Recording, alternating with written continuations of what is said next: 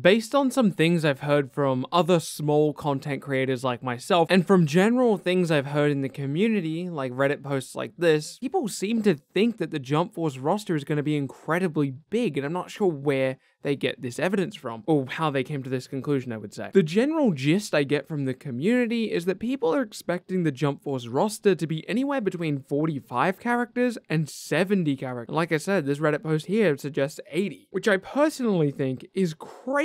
So I wanted to run through some numbers with you and lay out the rough roster size I'm expecting and why we shouldn't be too upset about that number. First of all, in July when the game was initially revealed, we found out about 9 characters. Come August, counting character creator as one character, we found out about an additional 7 characters, bringing us to a total of 16. In September, we brought that number up to 21 when we found out that there would be 5 new characters. In October, we were surprised that two Saint Seiya characters, Kenshiro and a detective, were going to bring that total up to 25. This month, we found out about Piccolo, Kenshin, Cell, and Shishio, bringing us up to a total of 29 characters. At this rate, if we expect 4 as the minimum characters per month, we would get exactly 41 characters on the base roster. 50 if you count the 9 already announced DLC characters. However, knowing we're not likely to get a V-Jump scan in February detailing new information, because of course the game will have already been out by the time the February V-Jump issue is out, so we could assume that we get less characters in the month of February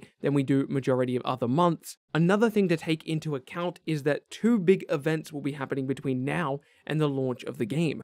Those two big events would be Game Awards and Jump Festa. Game Awards, which takes place in early December, I'm not so sure how I feel about. Game Awards is a very non-anime audience. It's very much a general gaming audience. So I could actually see a world where we don't get any reveal here, but we're just gonna have to wait and see for that one. Jump Festa, on the other hand, is a perfect place to drop an abnormal amount of characters. I could see anywhere up to seven characters being talked about here. To be clear, I'm not expecting seven characters to be talked about there. I'm not expecting three characters to be talked about there. I'm just saying up to seven could be talked about here, as in they could drop a ton of characters. For example, they could hold on to My Hero Academia and just like announce five My Hero Academia characters or something crazy like that. Again, I'm not expecting that. I'm just saying that that is a possibility and something to take into account when we judge how big the roster could be. So those numbers we were talking about earlier, 80 or 45 or 70, or 60, all of these numbers seem a little too high to me. I could see 45, heck, I could see 50, but any bigger than that, and I think we're probably taking it a little too far. I understand that most of us here are big anime fans, and we've played a lot of anime games, and we expect large rosters because of games like Storm 4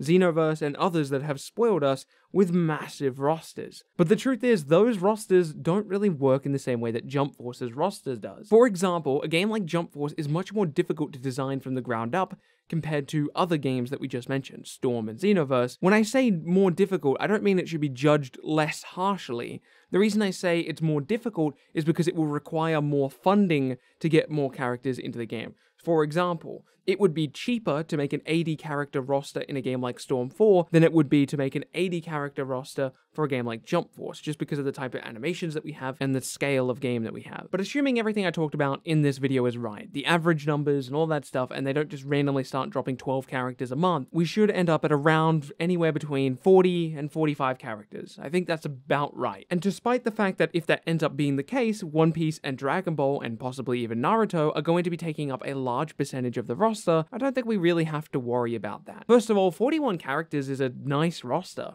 It's a lot. And I know you're thinking, but what if my character doesn't get in? Or what if this character doesn't get in? Or what if that character doesn't get in? And yeah, that's a legitimate concern. But thankfully, I was wrong, the community was wrong, everyone was wrong about create a character. This amazing customization system is far better than I think most of us were ever imagining it could be. Based on the screenshots we've seen so far from the avatar system, it looks like we're going to have a wide variety of options, enough to be able to make the majority of characters we want, or at least a version of them. This is just one page of the hair options available for females. You can change the color of each eye and shape of each eye, so confirmed that you will roughly be able to make Shoto Todoroki, which is awesome. I'm maining Shoto. Just not Shoto with ice and fire moves. We have body, hair, eyebrows, bro, eyebrows, ear options, ear options, like what? Nose, mouth, and jaw, features, voice, and this is not even counting the clothing options. Moving on to clothing, we have hairstyles, features, tops, bottoms, hands, feet, special, accessories. I'm gonna keep it 100% real with you. I think this CAC system looks better than Soul Calibur's, which is currently considered one of the better created character systems out there. Really, the biggest thing that Soul Calibur has over the CAC system in Jump Force so far is that the color slider feature is not available. Instead, in Jump Force, we have color variants on particular items. Again, this makes it much more difficult to create a character from another franchise because you can't do color mix matching the same way that you can in Soul Calibur, but man, I'll take it. This is still really good. My point is this. Even if we end up with a character roster as small as 35, I'm gonna be happy because I'm gonna be able to create any character I want and mix and match all these crazy abilities with the characters on the roster. At the end of the day, if your create a character system has enough depth to it, you can create infinite characters, effectively creating an infinite roster. Let me know what you think. What is the bare minimum of characters you would want to see in Jump Force to be satisfied? My number is around 35, but again, that's the bare minimum. I'm expecting around 45, and I would be really happy to see over 50. I want to thank you so much for watching this video. If you could leave a like on it, it helps me out a lot. It helps other people find the video. And if you could help me by subscribing and hitting that bell icon, it helps you keep up to date with future content. That would also be greatly appreciated. My name has been Bilbzy, and I will see you in the next video.